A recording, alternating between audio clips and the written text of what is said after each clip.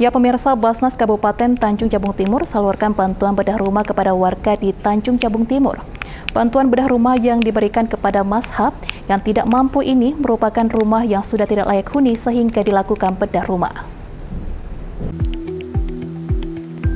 Dalam program penyaluran bedah rumah yang dilakukan oleh Basnas Kabupaten Tanjung Jabung Timur, kali ini Basnas Tanjung Jabung Timur berikan bantuan bedah rumah kepada dua warga di Nipa Panjang. Bantuan tersebut juga merupakan usulan dari pemerintah setempat yang meminta usulan secara langsung kepada Basnas Kabupaten Tanjung Jabung Timur.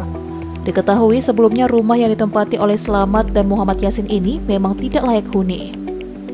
Kepala Basnas Sarifudi mengatakan, pada agenda kali ini, Basnas bersama pemerintah daerah berkontribusi dan bersinergi dalam membantu masyarakat yang membutuhkan bantuan.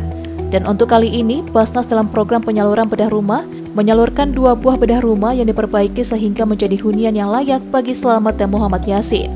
Agar utama penyerah rahmat, kami senantiasa bersinergi dengan pemerintah daerah.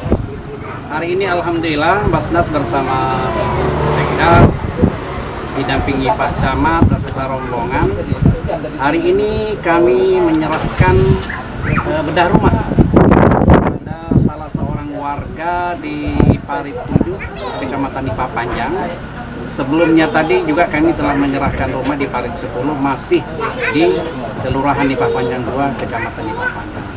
Jadi kesempatan yang baik ini kami berterima kasih ya kepada Muzaki yang telah menyalurkan zakat di Basnas.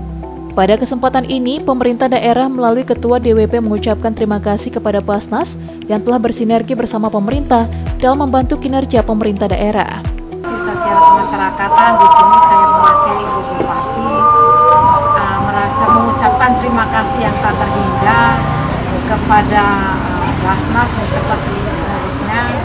Semoga ke depannya kegiatan Basnas ini tetap akan seperti ini dan kalau bisa sangat membantu masyarakat-masyarakat yang tidak mampu uh, dan tetap bekerja sama dengan masyarakat uh, dengan pemerintah khususnya pemerintah Kabupaten Tanjung Jabung.